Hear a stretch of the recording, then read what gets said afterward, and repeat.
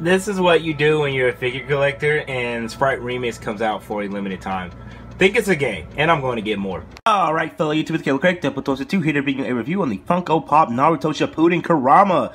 I was so shocked to find this at Target. Let's take a quick look at the box. Top, it says Pop Animation. You can see the top of Kurama's face. On this side, you can see the side of Kurama, and you can see uh, it has his name, and it says number 73. On the back, it's showing the other two, Naruto and Sasuke, but there's Kurama. On the last side, you can see here, it shows Kurama.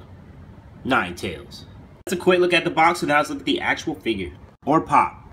Dad, I don't know how I'm going to defeat them. It's easy, Naruto. Just use the power of the nine-tailed beast Kurama. You're right. Let's do it together. You can only use my power this one time, boy. Ah, Rasengan! Alright, so here is Kurama out of the box. Now, my friend actually does have the version of him in his Nine-Tails mode. This is it. I have the regular version. Straight off the back, I do like how they did the eyes. I do like the paint job where the black is behind it. That looks very good. I'm seeing that I have a little scratch here on it. Just a scratch. I don't know, but for some reason I keep thinking they're like bobbleheads.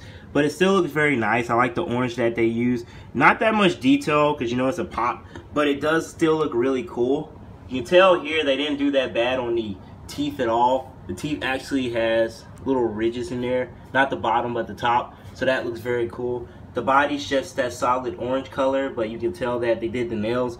Little bit sloppy here, as you can tell. Nails looking a little sloppy, and it's over the orange that's bleeding through a little bit. But still, you know, not that bad of a complaint for a pop figure. On the back, you can actually see the tails.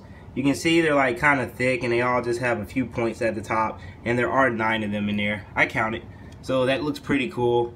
Nothing else to really see, just this oversized huge head, which is expected of the Funko Pop. Not too much to see, just a really nice figure. I love the show, and I'm glad they made this. It would be cool if there was like a SH Figuarts Funko Pop of them or something. But this is just awesome. But this has been my review of the Funko Pop Kurama figure. Hope you guys enjoyed it, and I'll see you in future videos. Bye.